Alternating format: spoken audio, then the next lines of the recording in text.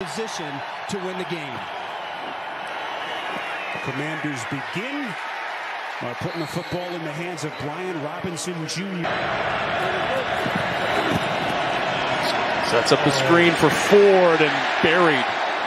A loss on the play as Jonathan Harris drops him four yards behind the line of scrimmage.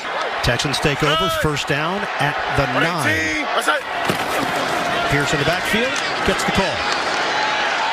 Broncos are ready for it. Jonathan Harris swallows him up along with Jonathon Cooper. It's tried to step up, could not break away from Harris. Back to back plays. Harris is ready.